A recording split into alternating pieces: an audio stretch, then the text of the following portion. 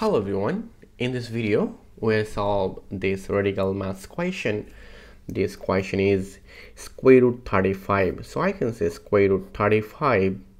it will be 5 times 7 plus and here is square root 5 over it is also square root 5 times 7 minus square root 5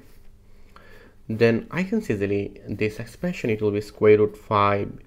times square root 7 plus square root 5 over square root 5 times square root 7 minus square root 5 then I can see easily here is square root 5 is common. So square root 5 this divide this it will be square root 7 plus 1 this divide this it will be 1 over. In in this expression you can see easily here is square root 5 is again common so it will be square root 7 minus 1 now at this moment if i cancel out this below this below we'll find out here is square root 7 plus 1 and here is square root 7 minus 1 now i multiply this value by square root 7 plus 1 i take here is square root 7 plus 1 and it will be square root 7 minus 1 and here is square root 7 plus 1 this this cancel. We'll find out again previous line. Now at this moment I can easily. Here is square root 7 plus 1 here is square root 7 plus 1 so it will be square root 7 plus 1 whole to the power 2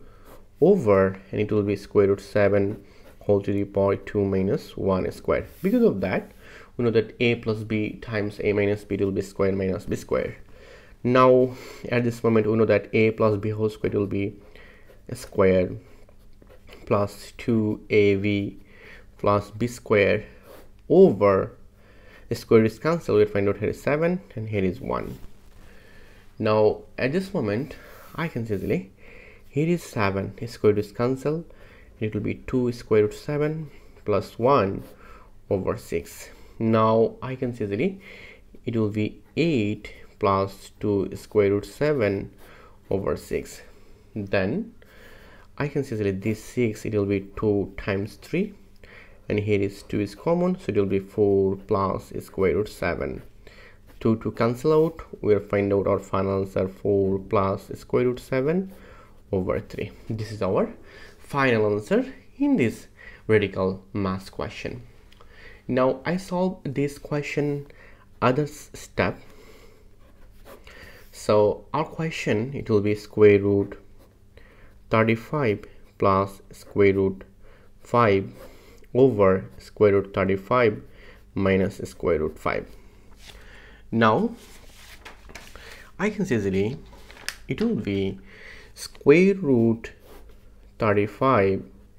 plus square root 5 over and here square root 35 minus square root 5 then it will be square root 35 plus square root 5 over square root 35 plus square root 5 I multiply this below this below by square root 35 plus square root 5 now at this moment I can see easily it will be square root 35 plus square root 5 whole to the power 2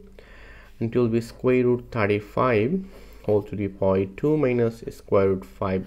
power 2 because of that we know that it here is two value. So i use here is square and it will be a plus b times a minus b square minus b square. Now at this moment if i apply this rules a plus b whole square be a square plus 2ab plus b square so i can see that it will be square root 35 whole to the power 2